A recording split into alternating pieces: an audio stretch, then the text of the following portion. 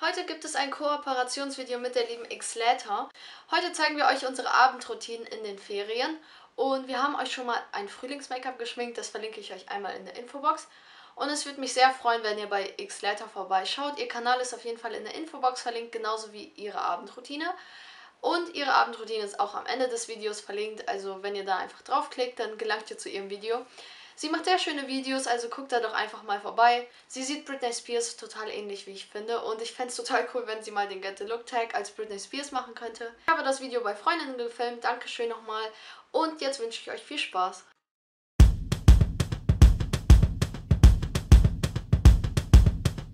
So let's do this in twos, just like Carolinas do. You and me,